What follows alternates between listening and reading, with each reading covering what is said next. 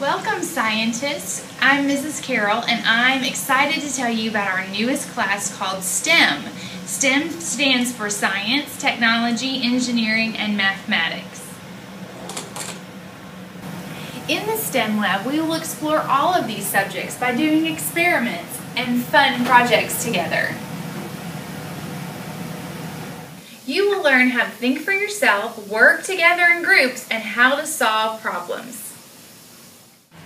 Together we will explore all kinds of things like ecosystems, space, forces, life cycles, landforms, fossils, energy, and many other topics, all through fun experiments and exciting projects like catapults, airplanes, simple machines, model rockets, and even robots.